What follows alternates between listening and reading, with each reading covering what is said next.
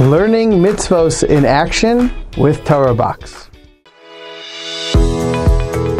Hafrashat challah, separating the dough, is a mitzvah from the Torah which entails to separate a portion of dough after kneading it by saying a blessing beforehand. This mitzvah allows us to repair the sin of Adam Harishon by sanctifying the material which is represented by bread.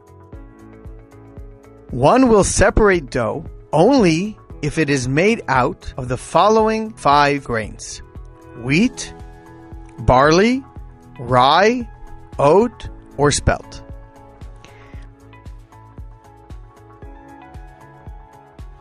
A dough containing less than 1.2 kilogram of flour is exempted from any separation. Between 1.2 kilogram and 1.56 kilogram of flour, one will separate the dough without a blessing. More than 1.56 kilogram, one will separate with a blessing. The mitzvah of separating challah is incumbent on both men and women. Yet the custom is that the women are entrusted to do so. Nonetheless, it is advised that men separate the dough as well at least once a year. Before saying the blessing, it is imperative that one's hands are clean because when kneading dough, bits of flour may stick to one's fingers. Before separating the dough, it is customary to give money to tzedakah. After separating the dough, one says the following blessing. Baruch ato Adonai Elokeinu melech ha'olam asher kedishanu b'mitzvah isav v'tzivanu lehafrish challah.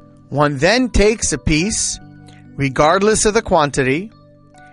Ashkenazim separate the dough before the blessing. Then, while taking the piece, one says, Hare zu challah. This is challah. After reciting the blessing, it is good to pray, since this is an auspicious time for divine kindness.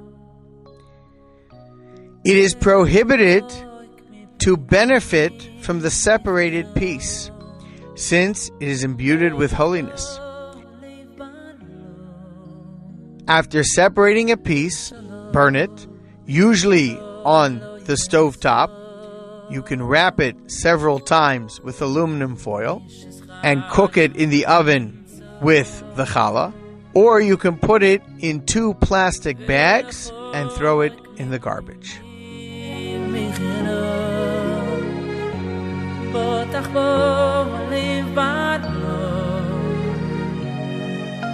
ושלום ושלום לא יחזור שכן אחר